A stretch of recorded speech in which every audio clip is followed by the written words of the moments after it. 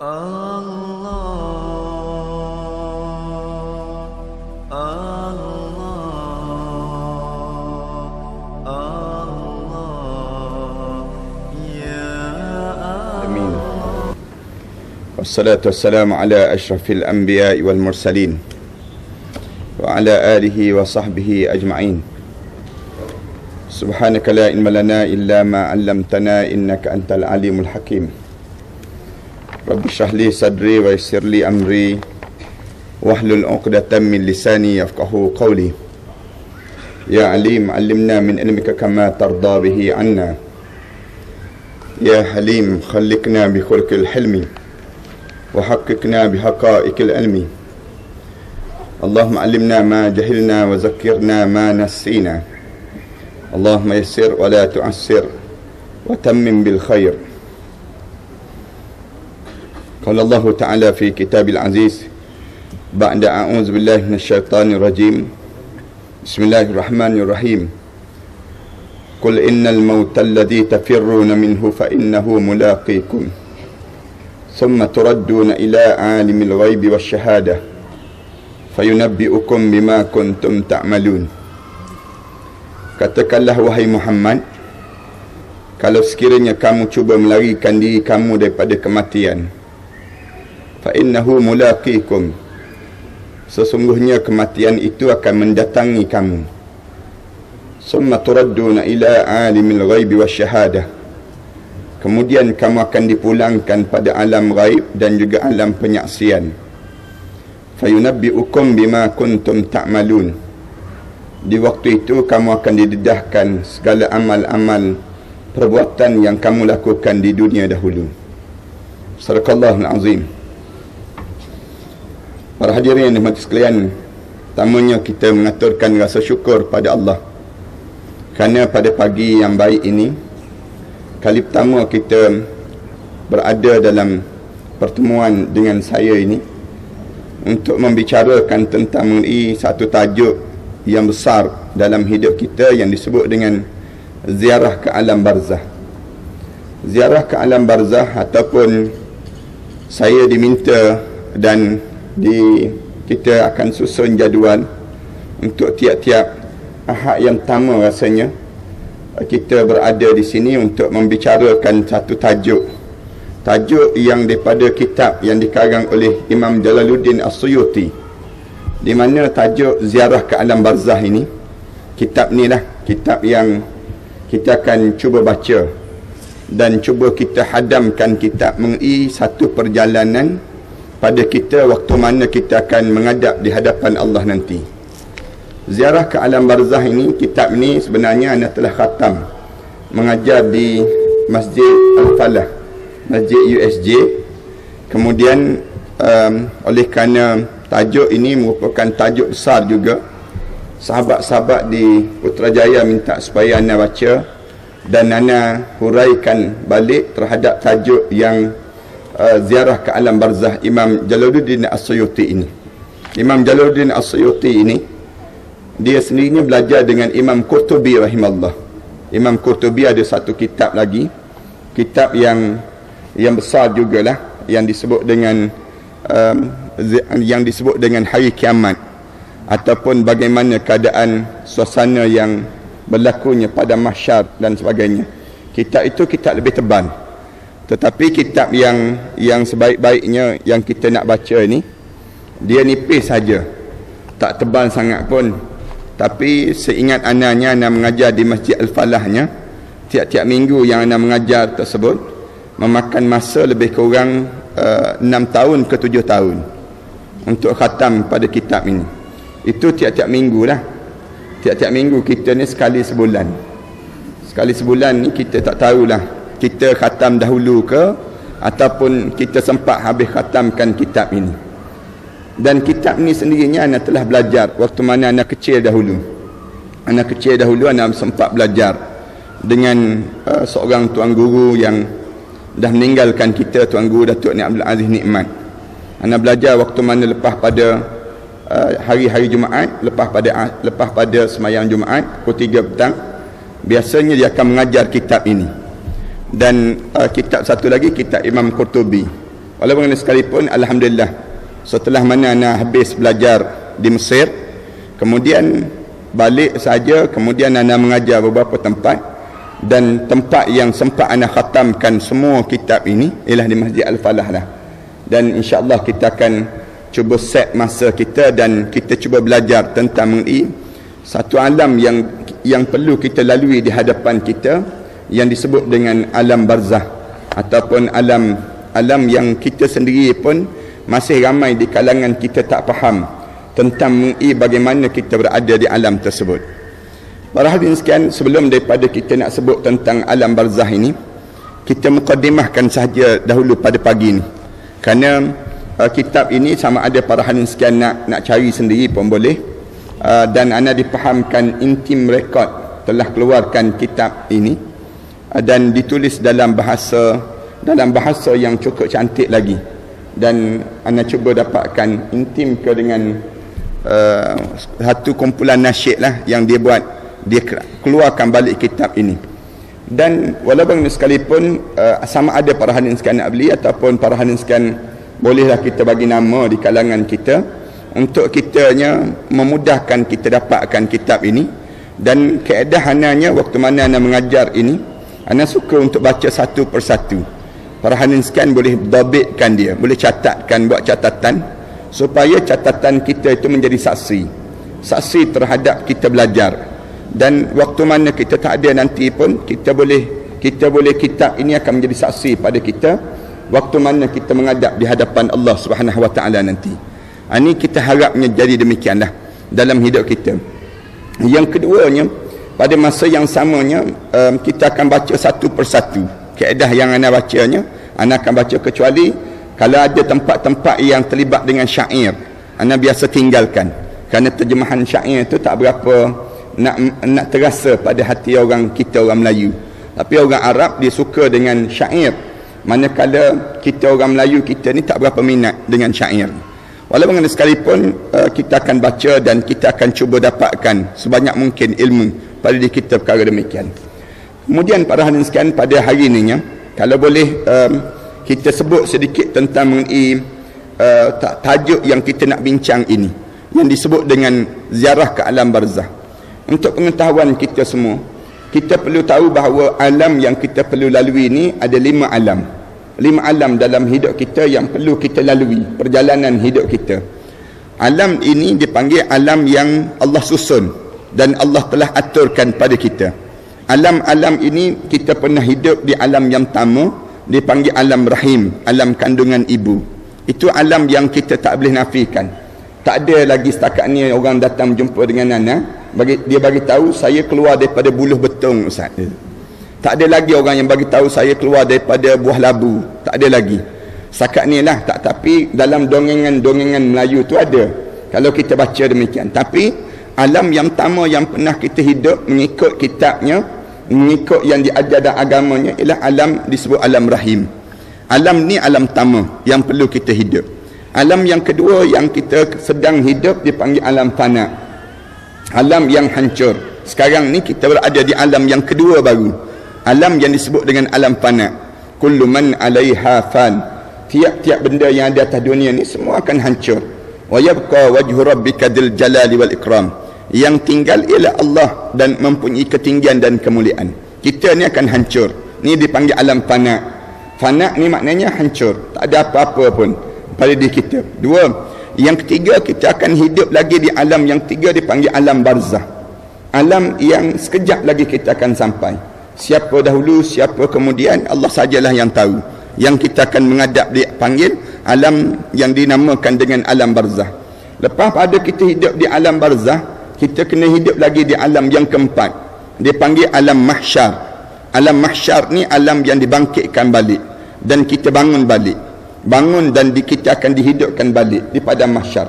Dalam dalam surah yasin kita biasa baca ayat waktu mana orang bangun daripada mahsyar Allah Allah Subhanahu wa taala cerita manusia ni tanya man ba'athana min marqadina? Hadza ma wa'ada ar-rahman wa sadaqal mursalun. Ni biasa kita sebut demikian. Man ba'athana min marqadina? Siapa yang bangkitkan kita daripada tempat tidur kita yang elok-elok kita sedang tidur di alam barzah itu kemudian tiba-tiba kita bangkit balik. Bangun-bangun masing-masing masing-masing dengar satu jawapan. Hadza ma wa'adar rahman inilah yang telah dijanjikan oleh Allah yang bersifat ar-rahman. Wa sadaqal mursalun dan benarlah rasul-rasul dahulu. Kemudian lepas pada kita hidup di alam yang keempat alam yang keempat ni kita akan dihidupkan lagi pada alam yang kelima. Alam kelima dipanggil alam sa'idun au saqiyun. Alam sa'idun au saqiyun. Alam syurga ataupun alam neraka. Sa'id maknanya alam alam kebahagiaan. Saqiyun maknanya alam kecelakaan alam yang di, kalau bahasa kita kita sebut syurga ataupun neraka. Dan sampai pada alam syurga ataupun alam neraka ni Allah mula sebut kitanya bila sampai pada alam syurga Allah sebut khalidina fiha abada. Para haniskan baca ayat Quran para haniskan cerita tentang syurga Allah sebut khalidina fiha abada. Kamu hidup kekal sampai bila-bila. Sebut saja tentang neraka Allah sebut demikian juga khalidina fiha abada kamu hidup kekal sampai bila-bila dalam neraka kamu dalam neraka tersebut. Kalau kita baca kehidupan kita di lima alam ini lima alam yang perlu kita lalui ini para hadirin sekalian kita akan dapati semua alam-alam ini penuh dengan keterpaksaan. Kita hidup dalam keadaan paksaan. Paksa je Allah paksa kita. Kita hidup melalui proses dipaksa dipaksa dan dipaksa oleh Allah.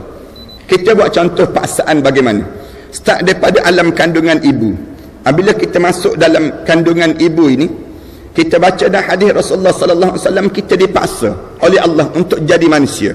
Waktu mana masuk saja dalam kandungan ibu, masuk dak benih lelaki dalam rahim seorang perempuan, ada paling-paling tidak lebih kurang 40 juta ekor sperma. 40 juta ekor sperma ni bergerak dalam keadaan masing-masing laju. Laju bergerak ke hadapan mencari telur daripada orang perempuan. Orang perempuan dia keluar yang disebut dengan ovum. Daripada ovarinya daripada jasad dia. Keluar benih telur daripada orang perempuan. Waktu mana ada seekor je benih sperm yang laju ni mereka pegang terus dia. Mereka pegang sperm tersebut mereka tanya Allah ya Allah nak jadi manusia ke tak jadi manusia ni ya Allah? Nak buat manusia ke tak buat manusia ni ya Allah? Allah subhanahu wa ta'ala sebut jadikanlah dia manusia.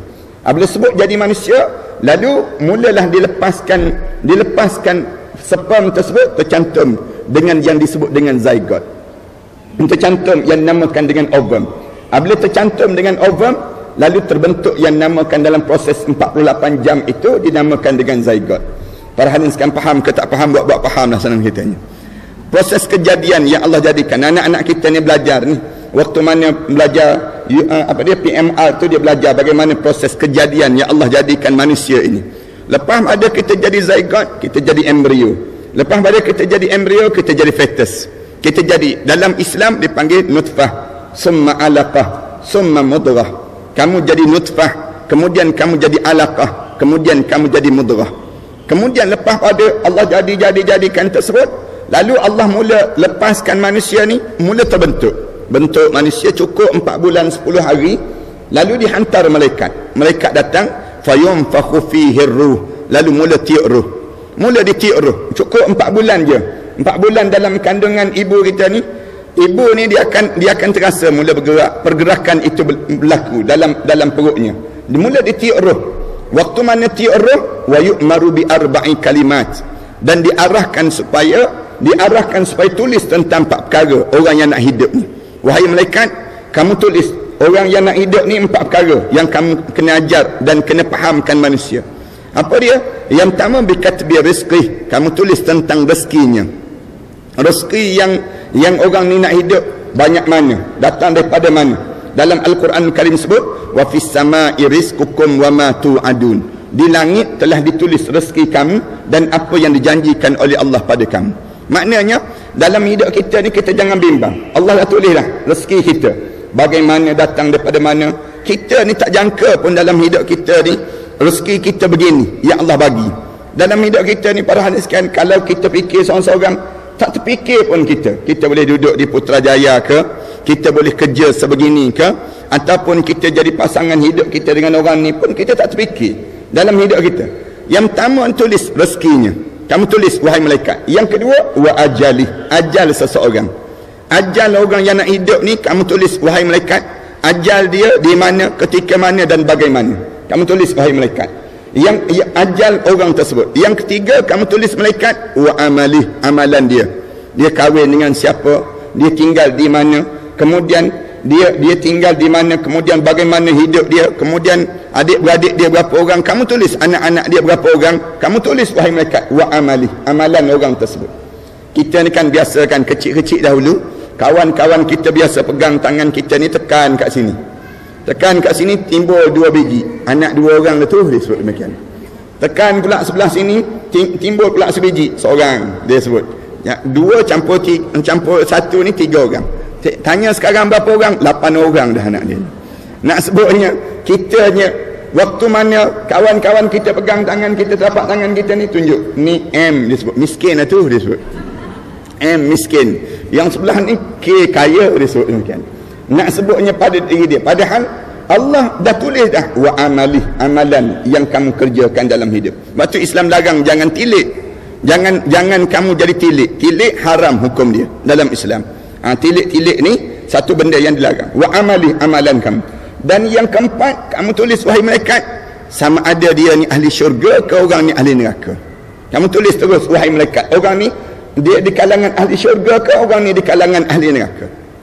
Para hadirin sekalian ni dipanggil qada yang mubram. Qada yang boleh berubah lagi.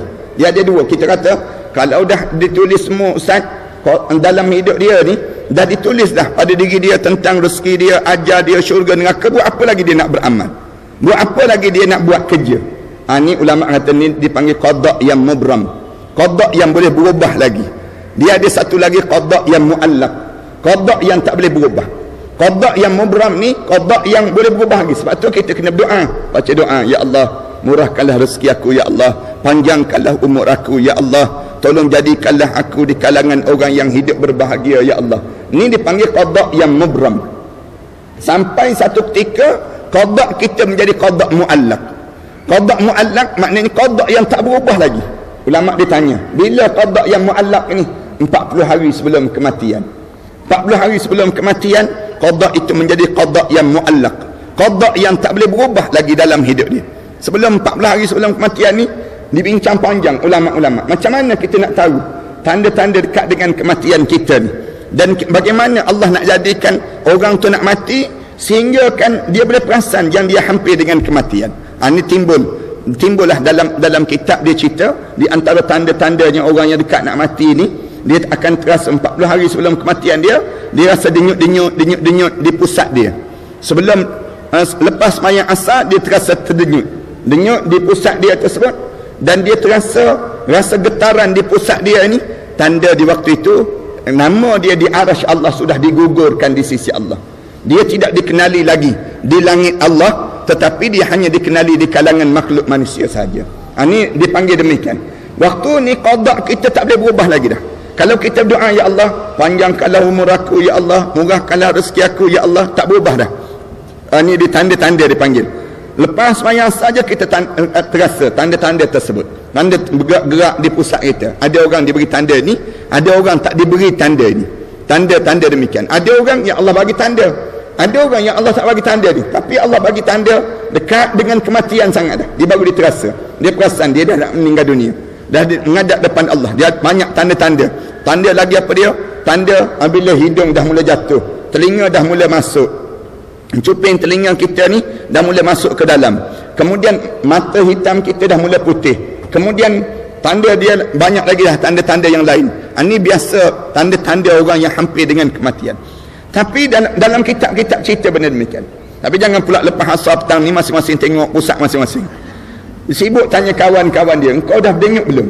Aku belum denyuk lagi dia sebut demikian. Ada orang yang Allah bagi tanda ni ada orang yang Allah tak bagi tanda ni. Tanda ada orang seminggu sebelum kematian dia. Biasanya seminggu kematian ni orang yang dekat orang yang dekat sangat dia biasanya sakit. Sakit teruk tiba-tiba dia sembuh. Dia jadi sembuh dan dia minta benda-benda yang pelik. Dah mula minta nak makan aiskrim cornetto lah misal contohnya. Ataupun dia dah mula pada diri dia dia dia bangun-bangun dia rasa macam segar je.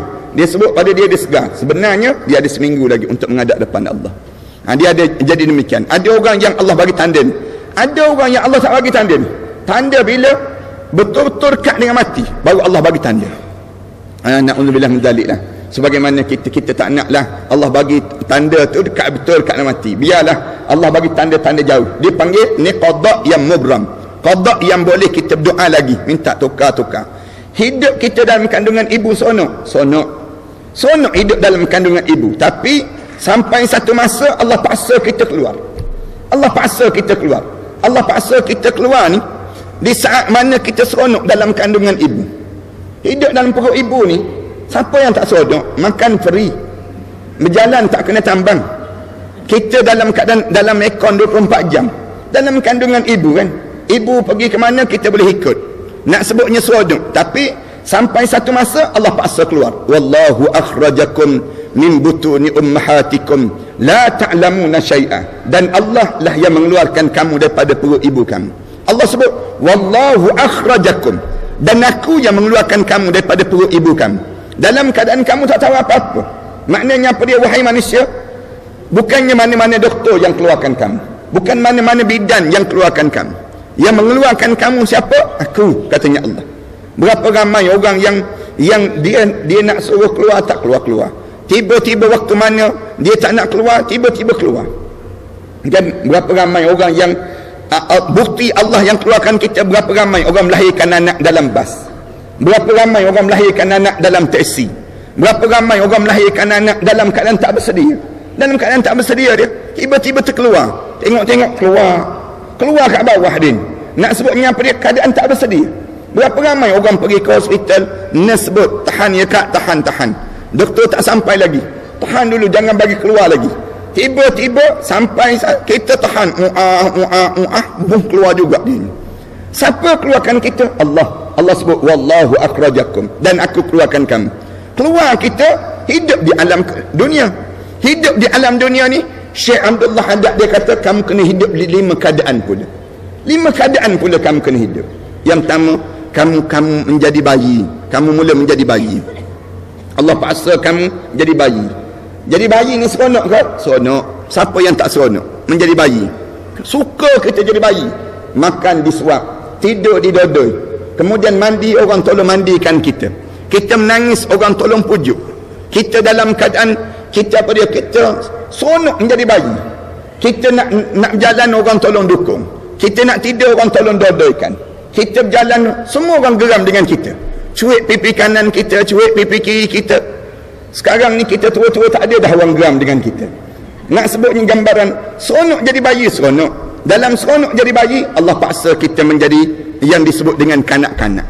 Mula kita menjadi kanak-kanak. Hidup katanya Syekh Abdullah Haddad kamu hidup menjadi kanak-kanak. Start daripada daripada kamu jadi bayi Allah mulakan pada diri kamu ada 99 rintangan yang kamu perlu lalui. Kamu ada 99 ujian besar dalam hidup kamu untuk kematian.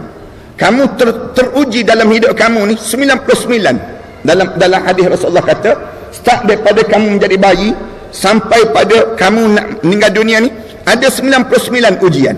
Ujian-ujian untuk menjadikan kamu 99 ujian yang besar untuk menjadikan kamu kematian. Tapi kamu selamat selamat selamat. Sampai yang ke-99 kamu tak selamat lagi dah. Ha, ini katanya, katanya para alim ulama ni. Eh, katanya hadis Rasulullah sallallahu alaihi wasallam. Allah jadikan kita ni hampir-hampir mati berapa kali? Berapa kali dah dalam hidup kita ni? Katanya Rasulullah Allah jadikan pada tiap-tiap orang tu 99 kali untuk di, diuji dengan kematian. Hampir nak kena langgar kereta berapa kali jatuh nak jatuh kapal terbang berapa kali?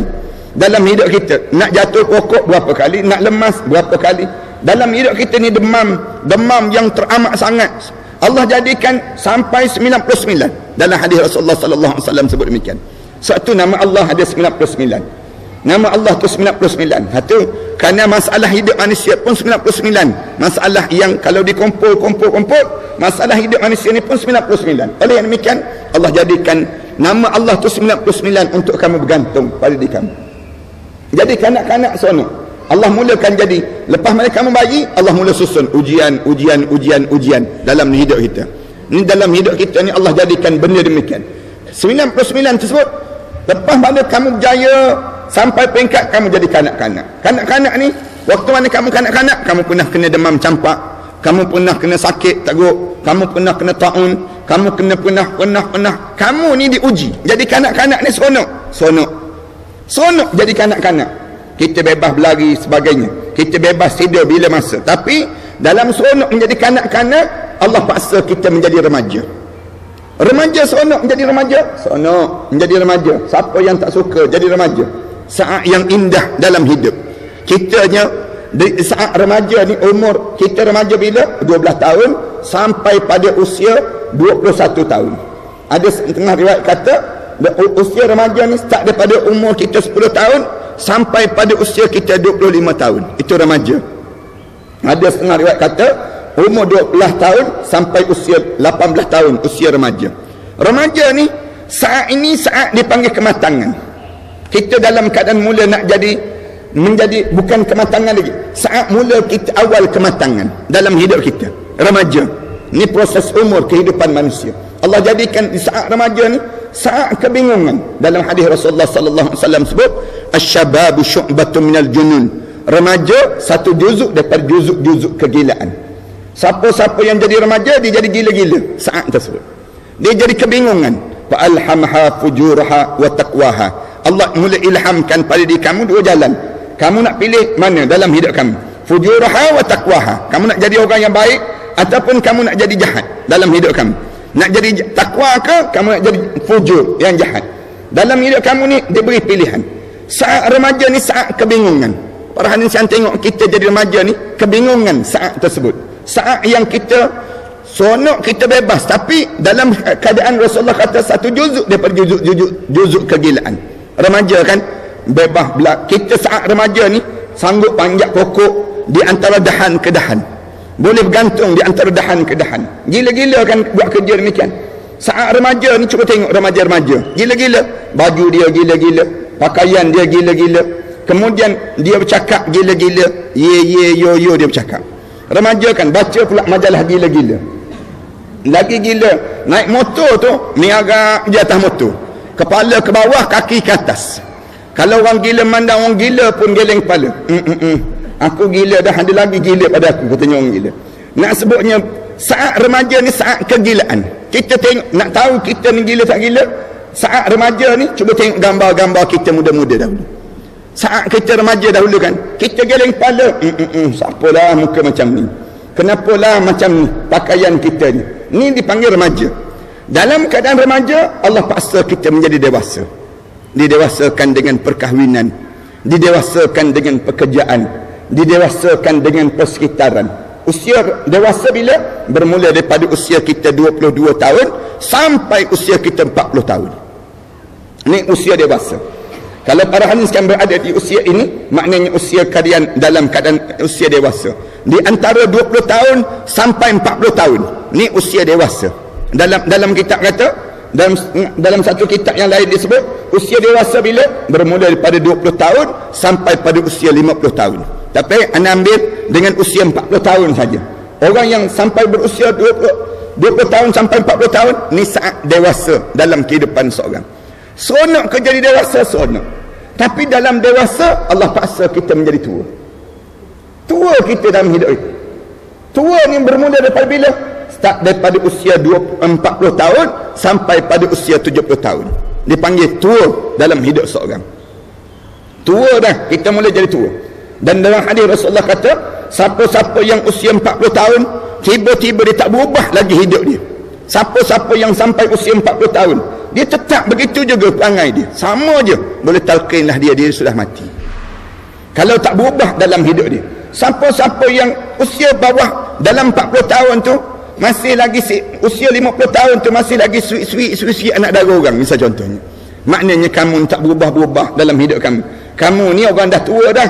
Dalam hidup kamu kamu dah, dah boleh ditalkinkan kata Rasulullah. Kerana usia ni usia yang tua dalam hidup kamu. Tua dah daripada diri kamu. Sampai usia 40 tahun kamu sudah menjadi tua. Nak tua pun tua tak nak tua pun tua. Dalam keadaan tua ada orang nak? Tak nak. Tak ada orang nak jadi tua sanggup makan pil anti penuaan. Tua juga dia ni. Sanggup pakai lotion anti kedetan. Kedut juga dia ni. Buat macam-macam gaya. Tak nak jadi tua. Tua Allah paksa jadi tua. Dalam keadaan tua Allah paksa. Berhenti ke tua? Tak. Ulama kata lagi. Allah tambah lagi. Bagi setengah-setengah orang dipanggil sampai peringkat 70 tahun sampai dia mati. Sampai usia, yang kelima ni daripada 70 tahun sampai dia mati. Dalam kitab disebut dia kata bukan dia tua lagi tetapi dia sudah menjadi bangka katanya. Disebut demikian. Macam ah tu istilah yang digunakan dalam kitab. Dia panggil kalau kita usia 70 tahun sampailah kita mati dia tak panggil tua dah. Tetapi dia panggil tua dah bangka dah dia panggil. Tua kita sudah menjadi tua bangka dalam keadaan kita ni dewasa Allah paksa kita menjadi dewasa. Dewasa dalam keadaan kita dewasa Allah paksa kita menjadi tua tua dalam keadaan tua Allah paksa kita untuk jadi tua bangka. Dan tua bangka Allah paksa kita untuk kita dimatikan oleh Allah. Mati tak ada orang yang boleh lari mati ni sampai satu peringkat apabila sampai peringkat mati raja pun mati doktor pun mati siapa pun dia kedudukan dia dia akan mati. Kullu nafsin dha'iqatul maut. Tiap-tiap yang menyawa dia akan merasai kematian. Mati ni berakhir ke hidup tak. Tak berakhir hidup apabila kamu mati sekejap je proses mati. Proses mati ni start daripada mula ditarik roh kita. Kita akan belajar dalam kitab ziarah ke alam barzah ini. Dalam kitab ini start daripada roh kita mereka datang. Mereka sebut wahai anak Adam aku cari setitik air untuk kamu telan sudah tidak ada. Aku cari selangkah untuk kamu melangkah sudah tidak ada. Aku cari sepatah kataan yang keluar daripada mulut kamu sudah tidak ada. Wahai roh sila keluar daripada jasad ini sebab keluar je roh ni bertempiaran lagi. Kalau yang tak beriman pada Allah. Roh orang yang beriman pada Allah dia akan kumpul elok je. Rasulullah sebut berkumpul macam minyak yang dikumpulkan dalam air. Berkumpul. Minyak kita tengok minyak tu dia berkumpul dalam air. Kemudian dalam keadaan dia berkumpul di hujung kaki dahulu. Rasulullah kata masuk malaikat kumpulan yang pertama nak cabut nyawa kita ni masuk dia pergi ke hujung kaki. Dia tarik di hujung kaki kita hadis ni hadis yang diriwayatkan oleh Badra bin Azib. Kita akan jumpa nanti dah. Dalam kitab ni dia akan cerita benda demikian. Tarik itu sampai di parah lutut. Kita mula terasa. Waktu mana tarik saja tu ngilu tu dia turun telapak kaki kita. Turun. Telapak kaki tu mula turun jatuh sikit demi sedikit. Kemudian tarik lagi. Tarik lagi sampai di pinggang. Apabila sampai di pinggang saja roh kita yang sampai pinggang tu orang yang beriman pada Allah dia tahu dah aku menghadap depan Allah dah. Mulut dia tak berhenti. Asyhadu an la ilaha illallah wa asyhadu anna muhammad rasulullah. Orang yang tak beriman pada Allah dia kata tak tak mati lagi ni tak mati lagi. Dia mula naik sampai ke pusat. Sampai rasa di pusat dia turun terus. Sejuk ni rasa naik sampai di pusat rasa sejuk je di pusat. Sejuk di pusat dia pun turun turun turun sampai di pinggang dia balik mendadak dia naik ke atas. Mendadak dia naik sampai ke atas. Roh ni naik sampai ke atas. Di saat ini kamu boleh dengar putus urat-urat kamu. Kamu dengar tah tah tah tah putus. Kamu seorang dengar. Dia naik mendadak. Dalam kitab Imam Ghazali rahimahullah dia cerita waktu mana waktu mana apa dia dia naik roh ni sampai terangkat. Uh, disebutnya zakar lelaki ni testis lelaki tersebut terangkat naik sampai ke atas. Perut ni urat perut ni sampai naik sampai ke atas. Naik sekali dengan diri dia. Kemudian ditarik naik sampai ke atas ni dia jadi rasa sesak. Sesak dada dia ni orang yang beriman pada Allah dia akan sebut la ilaha illallah Muhammadur Rasulullah. Waktu mana naik saja sampai di, di dada dia roh ni naik sampai di dada orang yang tak beriman pada Allah dia sebut inni tubtul an. Sekarang aku taubatlah pada kamu ya Allah sekarang aku taubat pada kamu ya Allah. Allah sebut walaisatit taubatu lilladzina ya'maluna sayyi'at. Aku tak terima dah taubat kamu. Hidup kamu dalam keadaan roh hujung kaki kamu tak nak buat taubat lagi. Huj, sampai naik sampai di pinggang kamu. Naik itu Rasulullah sallallahu alaihi wasallam cerita apabila naik sampai di di dada ni di dada saja lalu kita boleh nampak dah tempat kita dalam tempat syurga Allah. Kalau orang beriman pada Allah. Mula Allah tunjuk tempat dia dalam syurga Allah dia peluh atas dahi dia. Peluh atas dahi dia. Naik sampai di halkom saja. Biji mata dia terbuka dan wajah dia berubah menjadi sejernih-jernih wajah. Kemudian dia nampak dia tersenyum. Setengah orang dia senyum sampai nampak gigi dia. Seronoknya dia kan tempat dia dalam syurga Allah. Kemudian roh mula keluar melalui biji mata dia. Rasulullah kata roh itu mata itu memandang roh keluar dan disambut. Lalu Rasulullah sallallahu alaihi wasallam ambil satu bekas Rasulullah SAW tunjuk roh orang mukmin ini masuk dalam bekas yang disediakan oleh malaikat yang datang di saat itu seramai lebih kurang 60 ribu malaikat. Seorang satu roh yang nak dicabut tu 60 ribu para malaikat dituangkan roh dalam bekas. Rasulullah ambil bekas air Rasulullah tunjuk ni macam ni lah roh orang mukmin jatuh dalam bekas itu. Kemudian masuk saja dalam bekas itu yang berwarna putih dan berbau kasturi dalam syurga Allah Subhanahu wa taala kemudian masuk saja kemudian ambil masuk saja ditutup. Tutup saja roh roh ini. Roh ini mula ditarik di bawah melayang dan berbau sewangi-wanginya kalau dia beriman pada Allah semua makhluk tahu. Orang ni ahli syurga Allah kecuali dua makhluk saja yang tak tahu. Rasulullah kata apa dia? Malaikat jin dan juga manusia saja. Ayam itik kat bawah tu dia tahu tuan rumah aku ni ahli syurga Allah. Kemudian cicak-cicak dalam rumah tu tahu ni ahli syurga Allah ni ahli syurga Allah dia tahu terus. Semua makhluk tahu. Ni ahli syurga Allah kecuali dua makhluk saja yang tak tahu. Yang disebut dengan yang disebut dengan jin dan juga manusia. Mula naik saja roh ini di langit yang pertama ditanya terus roh siapa kat ini? Roh fulan bin fulan. Lalu penjaga malaikat langit yang pertama ini malaikat yang langit pertama ni buka segala pintu syurga pintu pintu pintu langit ditarik dibawa naik ke atas. Dia kata selamat datang kami selamat datang kamu naik langit yang kedua. Selamat datang selamat datang sampai langit yang ketujuh. Sampai menghadap depan Allah. Allah sebut tentukan dia di kalangan ahli syurga Allah subhanahu wa ta'ala. Tentukan dia di kalangan ahli syurga Allah. Roh ini terus mendadak. Turun berada di hujung kepala seorang itu. Sampai di hujung kepala. Berada di hujung kepala kita ni kita mula nampak siapa yang datang nak mandikan mayat kita. Kita mula nampak siapa yang mula buka butang baju kita. Kita boleh rasa orang buka kain tudung kita. Kita boleh rasa di saat mana orang dah mula buka butang baju kita. Buka butang baju kita ni kita boleh rasa. Semua saat demikian. Ni nak cerita bagaimana gambaran hadis yang hadis Barak bin Azib saat mana kamu menghadap depan Allah. Orang yang tak beriman pada Allah saat mana nak menghadap depan Allah roh tercabut ni tersentak tersentak dia ni sampai nampak dia ni keluar yang disebut buih pada mulutnya. Na'udzubillah min dalik Rasulullah sallallahu alaihi wasallam sebut siapa-siapa yang tengok orang yang mulut dia berbuih kerana dia takut sangat takut sangat menghadap depan Allah ni sampai dia tunjuk tempat dia dalam neraka Allah tu berbuih keluar. Rasulullah kata sunat kamu ambil kapas ataupun eh, kain dan sebagainya kamu buang buih yang keluar daripada mulut dia buih yang keluar daripada mulut ini sini. Tanda-tanda dia di kalangan ahli syurga Allah. Tanda-tanda dia di kalangan ahli neraka Allah. Ahli syurga ni dia tanda dia dia peluh di atas dahi dia. Kemudian dia keluar air mata pada mata dia. Keluar air mata pada mata dia hidung dia kembang kempis. Kembang kempis waktu mana nak keluar roh daripada jasad dia najis dia keluar sikit dia keluar daripada jasad dia. Tak banyak najis yang keluar. Tanda-tanda ahli neraka Allah wajah dia masam mengetak diri dia. Dia mengetak kemudian dia keluar buih pada mulut dia. Najis dia terlampau banyak yang keluar daripada perut dia. Ini di antara tanda-tanda na'udzubillah min dalik ini Rasulullah sebut dalam dalam hadis Rasulullah tanda-tanda ahli neraka dan tanda-tanda ahli syurga pada mayat.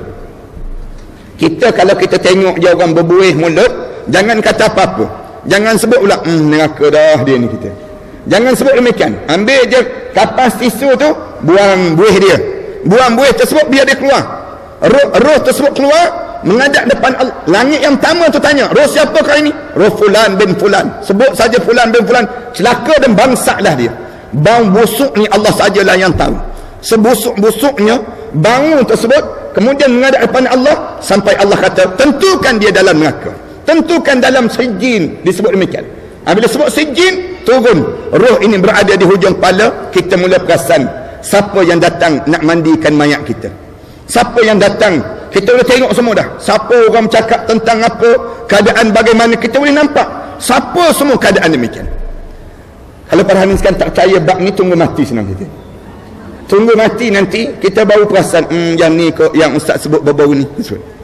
Yang ni kok yang kita yang kita belajar baru-baru ni dalam ziarah kematian tersebut ziarah ke alam barzah sampai saat ni Orang buka butang baju kita ni Rasulullah kata roh tu sebut Perlahan-perlahan sakit mati tadi belum habis lagi Perlahan-perlahan Orang mula mandikan mayat ni Jenazah dia tu Dia kata jirus perlahan-perlahan Jangan kamu jirus kuat sangat Sakit Bila tanya macam mana sakitnya mati? Saat ini Rasulullah kata bagaikan seluruh tubuh badan sudah melecur. Melecur bagaikan seluruh tubuh badan melecur. Bila tanya pada Rasulullah sallallahu alaihi wasallam Ibnu Abbas, ditanya pada Ibnu Abbas, macam mana sakit kematian di saat ini Rasulullah? Bagaimana saatnya sakit mati di saat ini? Ibnu Abbas kata, bagaikan kulit kamu disiat. Kulit kamu disiat, kemudian ditarik di atas bara-bara api yang panas. Kemudian bara-bara api yang panas itu dalam keadaan ditarik di atas bara api yang panas, kemudian ditarik di atas kapas-kapas yang basah. Bunyi sah bunyi. Habis tanya lagi, macam mana sakitnya kematian di saat ini? Lalu katanya Ibn Abbas, kamu tanyalah kepada ibu-ibu yang melahirkan anak. Kamu tanya pada ibu-ibu yang melahirkan anak. Di saat mana dia melahirkan anak itu, dia melahirkan anak tersebut, dia rasa sakit yang amat sangat putus orang-orang dia katanya Rasulullah sallallahu alaihi wasallam katanya Ibn Abbas Ibn Abbas kata saat sakit di saat ini ibu sakitnya melahirkan anak itu baru satu juzuk daripada 99 juzuk kesakitan kematian. Baru satu juzuk. Ada 98 lagi juzuk kesakitan kematian. Sakitnya yang amat sangat. Menghadap depan Allah. Sehingga kan sakit tak sakitnya bila ditawarkan pada orang yang sudah meninggal dunia kamu nak hidup balik? Kami tak nak hidup.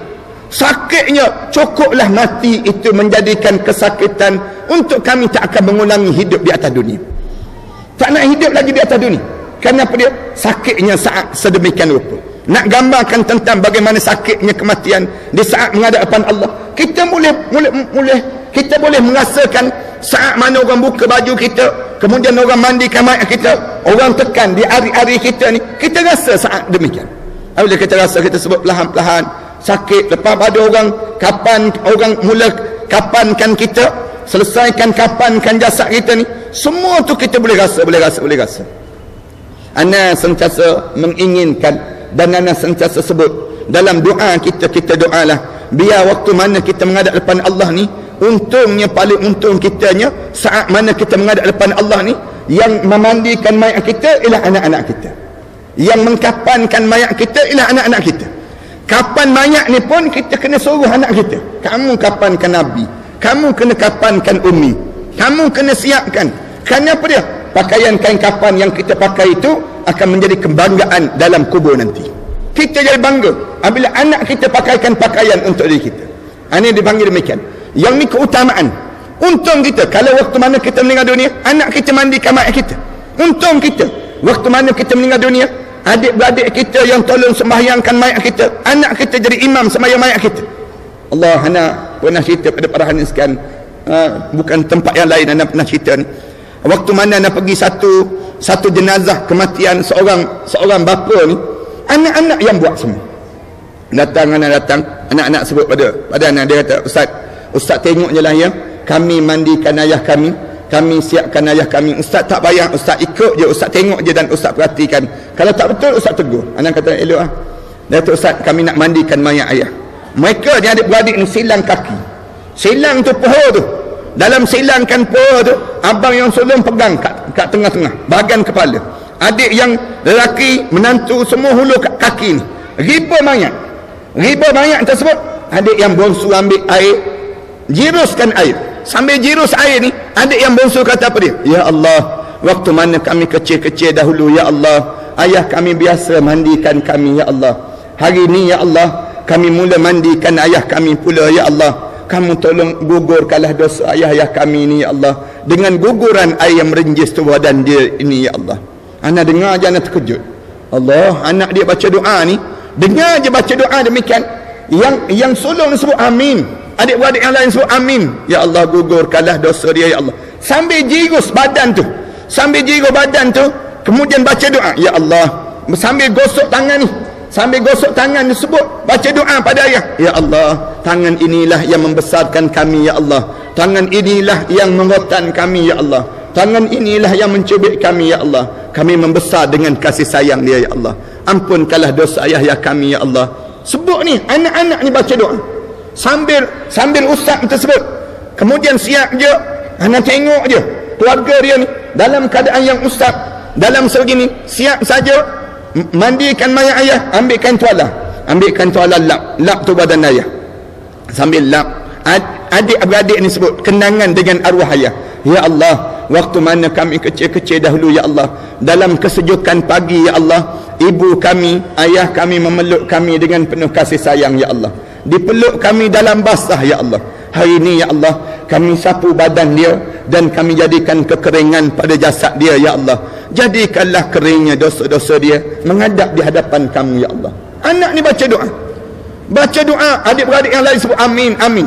Usung saja mayat letak di atas kain kapan. Sebut pada pada Allah. Ya Allah waktu mana kami kecil-kecil dahulu ya Allah ayah kami biasa memakaikan pakaian untuk kami ya Allah. Kami ambil baju kami kami campak di atas muka dia ya Allah kami berlari ya Allah. Disebut cerita kenangan masing-masing dengan arwah ayah ni.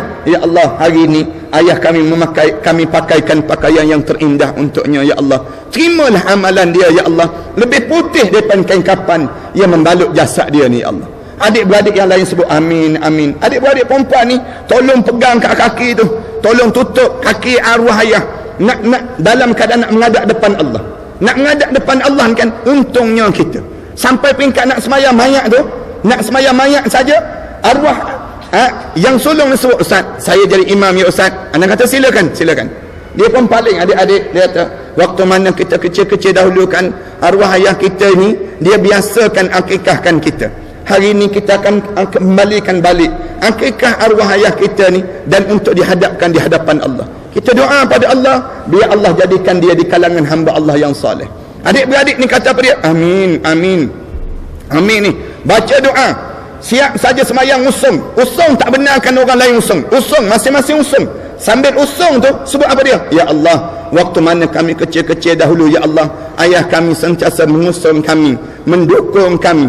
Dalam keadaan kami menangis, mengelupur di atas dia, Ya Allah. Sebut ni, cerita kenangan masing-masing. Menangis, nak pada mainan itu, nak kepada bagang ini hari ini ayah kami diam saja di atas dus, usungan ini ya Allah. Ampunkanlah dosa kami terhadap ayah kami ya Allah.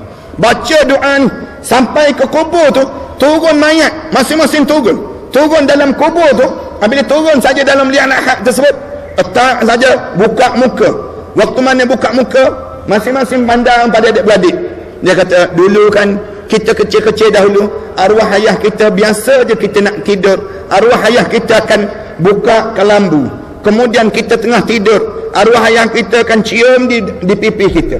Hari ini kita jadikan kubur dia kubur yang terindah. Kita doakan dia biar dia menjadi kubur di kalangan taman-taman syurga Allah.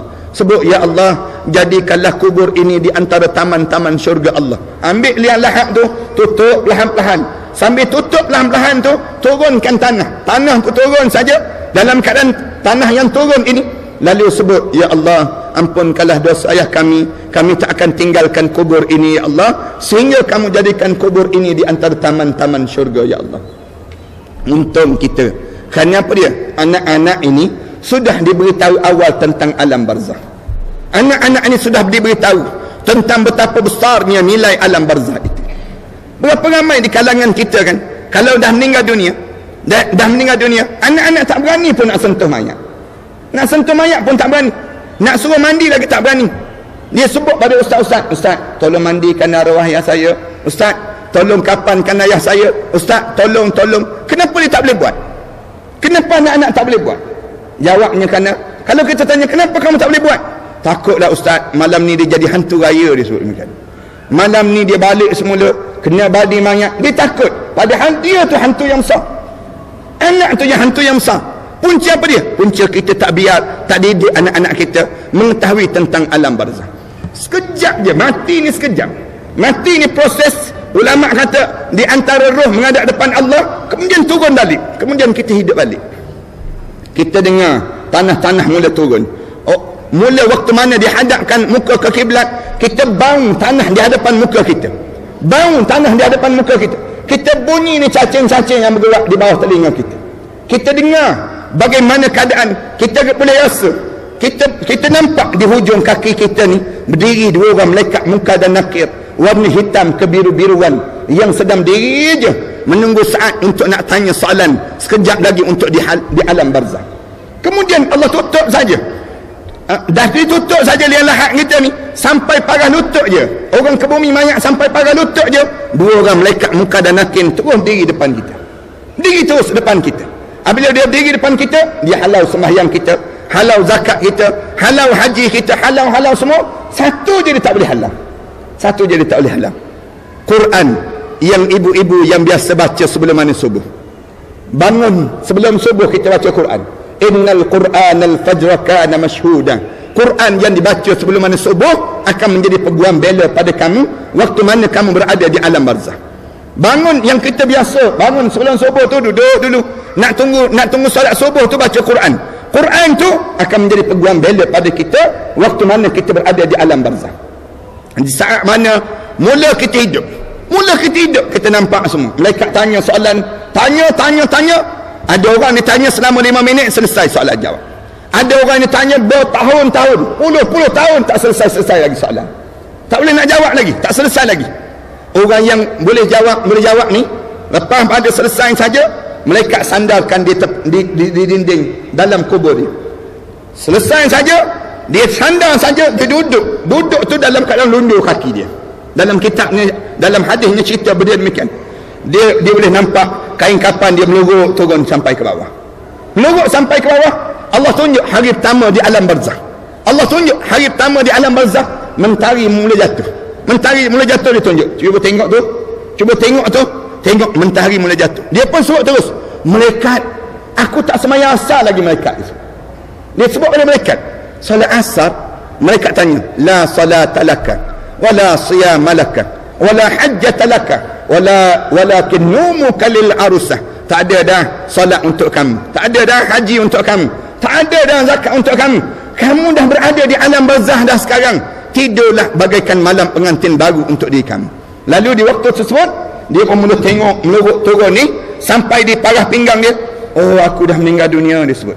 Di saat itulah Allah mula datangkan roh-roh orang yang sudah meninggal dunia sebelum daripada ini. Datang terus kita mula nampak jauh-jauh roh-roh ini. Mula datang dekat dekat dekat dekat. Dengan diri kita dia sebut apa dia kita dengar. Orang yang meninggal dunia ni dia dengar. Dia kata apa dia? Dia dengar suara mereka kata biar dia dulu biar kerana dia baru meninggal dunia dia penat lagi tu. Dia penat lagi. Dia pun jawab terus tak saya tak penat. Ni tengok kain kapan saya ni. Kamu tahu tak kain kapan saya ni? Siapa yang pakaikan? Anak saya yang pakaikan kain kapan. Saya kamu tahu tak?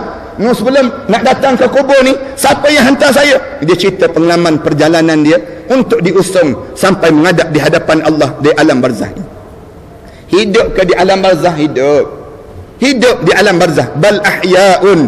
Bahkan kamu hidup. Anda nak cerita yang tentang hidup.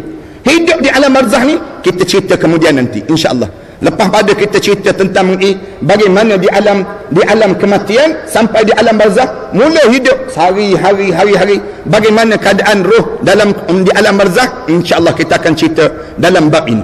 Kemudian kita dipaksa oleh Allah bangkit. Bangkit bangun di pada mahsyar mula kita dipaksa berjalan sampai pada mahsyar. Mula dalam keadaan demikian kita disoal ditanya kemudian diri pada mahsyar kemudian dimasukkan ke dalam syurga dan berakhir dengan neraka Allah Subhanahu wa taala. Naudzubillah min zalik. Bagi orang yang tak beriman pada Allah yang beriman pada Allah berakhir dengan syurga Allah Subhanahu wa taala. Para hadirin sekalian ana sengaja cerita ni cerita perjalanan yang kita perlu lalui dalam hidup kita ini. Depan kita ni jauh lebih besar lagi jauh lebih hebat lagi. Dan Rasulullah kata aku tak pernah tengok satu suasana yang lebih huru hara daripada huru yang berada di alam barzah. Rasulullah kata aku tak pernah lihat satu suasana yang sukar lebih sukar daripada suasana di alam barzah. Tak ada suasana yang lebih teruk daripada itu. Rasulullah sallallahu alaihi wasallam sebut siapa yang selamat di alam barzah selamatlah dia daripada mahsyar. Siapa yang tak selamat di alam barzah tak selamatlah dia daripada mahsyar Allah Subhanahu wa taala mudah-mudahan Allah jadikan kita ni di kalangan orang yang sentiasa bersiap sedia dengan ilmu-ilmu bersiap sedia pada kita untuk kita menghadap di hadapan Allah dan apabila kita menghadap depan Allah kita dah cukup dengan persiapan-persiapan dan mantapnya amal ibadah kita pada Allah Subhanahu wa taala. Ana rasa inilah mukadimah pada pagi ini pertemuan kita ni dan insya-Allah uh, kita akan para hadirin sekian kalau para hadirin sekian nak bersama dalam pengajian kita ini InsyaAllah bagi tahu pada sahabat-sahabat kita untuk mengetahui alam barzah ini. Para sekalian bagi nama lah. Bagi nama pada jawatan kuasa masjid ke jawatan kuasa penggerak ke. Untuk kita nak nak nak pada kitab ini kemudian kita akan mula baca satu persatu nanti insyaallah. Ana ana sengaja pagi-pagi ni ya untuk nak memukaddimahkan saja tentang betapa besarnya nilai di alam barzah nanti dan insyaallah mudah-mudahan kita boleh bertalaqi dan kita boleh belajar satu persatu dan insyaallah dengan kita belajar itu dia akan mempersiapkan diri kita untuk kita menghadap di hadapan Allah Subhanahu wa taala nanti. Ana rasa sekadar inilah sejam tu dah parahan sekian pun tunggu awal tadi dah betulkan pinggang tulang belakang ni berapa kali dah nak nampak ni. Jadi kita berhenti sakat ini dahulu. Mudah-mudahan Allah jadikan pertemuan kita pada pagi yang baik ini dengan pertemuan yang baik dan kebaikan pada kita yang terusan pada diri kita insya-Allah. Aku lakukan hadza astaghfirullah li wa lakum. Wassalamualaikum warahmatullahi taala wabarakatuh. Bismillahirrahmanirrahim. Alhamdulillahirabbil alamin. Wassalatu wassalamu ala asyrafil anbiya'i wal mursalin wa ala alihi wa sahbihi ajma'in. Allahumma ighfir dhunubana wa liwalidina warhamhuma kama rabbayna saghira wal jami'il muslimin wal muslimat wal mu'minina wal mu'minat al ahya'i minhum wal amwat. Ya Allah ya Tuhan kami, ampunkanlah dosa-dosa kami ya Allah. Dosa besar kami dan dosa kecil kami ya Allah. Dosa yang sengaja dan dosa yang tidak sengaja kami lakukan ya Allah. Ya Allah ya Tuhan kami kami mohon pada kamu ya Allah. Kerahmatan daripada kamu ya Allah. Kebaikan dalam kehidupan kami ini ya Allah. Kukuhkanlah ikatan ukhuwah sesama kami ya Allah. Kuatkanlah jiwa kami ya Allah dalam mengharungi ujian dalam perjalanan hidup kami ini ya Allah ya Allah ya Tuhan kami kami mohon pada kamu ya Allah dengan apa yang pernah dipohon oleh Nabi kami Muhammad sallallahu alaihi wasallam. Jauhkanlah kami ya Allah daripada apa yang diminta dijauhi oleh Nabi kami Muhammad sallallahu alaihi wasallam. Ya Allah ya Tuhan kami kami mohon pada kamu ya Allah agar dijadikan kami hamba kamu yang saleh ya Allah yang ringan dalam mentaati perintah kamu ya Allah. Senangkanlah kami ya Allah untuk kami senangkanlah kami untuk kami mentaati perintah kamu ya Allah. Jauhkanlah kepada kami ya Allah kesukaran dalam kami melakukan ketaatan pada kamu ya Allah. Ya Allah ya Tuhan kami izinkan bibir kami menyebut la ilaha illallah Muhammadur Rasulullah di akhir kehidupan nanti ya Allah. Tatkala mana terbujur kaku mayat kami nanti ya Allah ampunkanlah dosa-dosa kami ya Allah. Di waktu mana kami mula dimandikan mayat kami nanti ya Allah gugurkanlah dosa kami dengan guguran air merenjis sebadan kami itu ya Allah di kala mana dikeringkan jasad kami nanti ya Allah keringkanlah dosa-dosa kami yang pernah kami lakukan di dunia ini ya Allah. Di kala mana kami mula dikapankan nanti ya Allah putihkanlah amalan kami ya Allah. Lebih putih daripada kain kapan yang membalut jasad kami itu ya Allah. Di kala mana kami mula diusung dan disembahyangkan nanti ya Allah pilihlah anak kami yang paling saleh ya Allah. Yang akan mengimamkan sembahyang mayat kami nanti ya Allah. Yang akan mengusung mayat kami nanti ya Allah yang akan membawa kami ke liang lahat nanti ya Allah. Tatkala mana kami mula dihadapkan ke kiblat nanti ya Allah. Mula dihadapkan jasad kami nanti ya Allah. Keseorangan kami di alam barzah nanti ya Allah. Jadikanlah kubur kami di antara taman-taman syurga ya Allah. Jangan kamu jadikan kubur kami di antara kawah-kawah neraka ya Allah.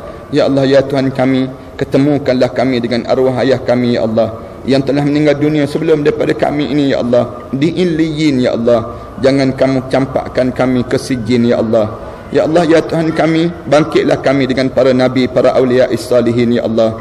Ya Allah kala mana kami bangkit di pada mahsyar nanti ya Allah? Nama kami dipanggil dan diseru dan diseru oleh nabi kami Muhammad sallallahu alaihi wasallam. Ya Allah izinkan kami bersimpuh di sisinya ya Allah. Meminum air di telaga Kausar ya Allah. Mengharapkan syafaat nabi kami Muhammad sallallahu alaihi wasallam. Ya Allah tatkala mana melayangnya suratan amalan manusia nanti ya Allah Terimalah suratan amalan kami sebelah tangan kanan ya Allah.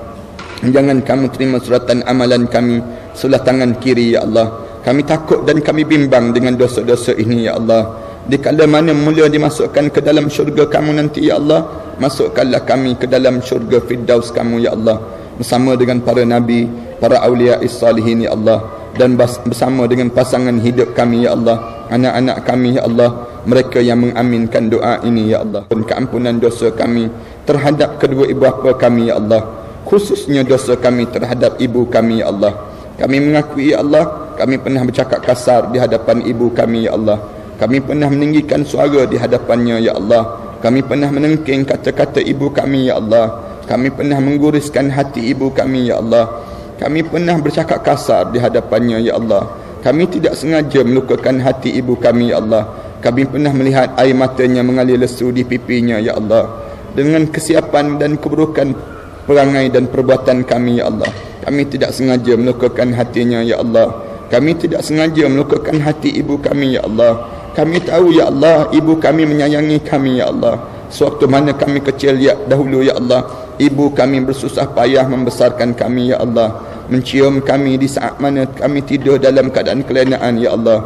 Di kala mana kami demam ya Allah. Ibu kami turut demam sama demamnya kami ya Allah.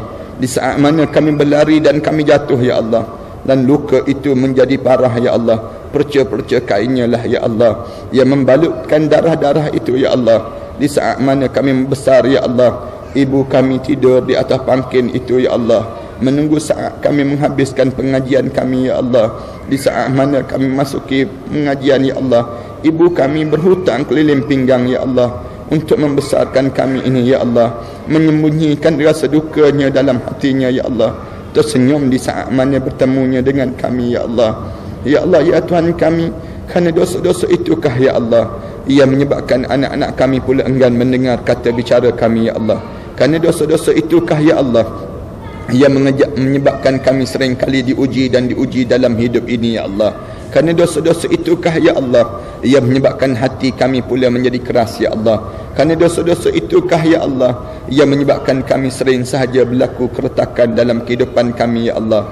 Kerana dosa-dosa itukah ya Allah? Yang menyebabkan kamu berpaling daripada rahmat kamu untuk kami ya Allah. Ya Allah seburuk mana pun kami ya Allah sekeji mana pun kami ya Allah. Sejahat mana pun kami yang pernah kami lakukan sebelum daripada ini ya Allah. Segunung mana pun dosa yang pernah kami lakukan sebelum daripada ini ya Allah. Pandanglah kami dengan pandangan rahmat kamu ya Allah.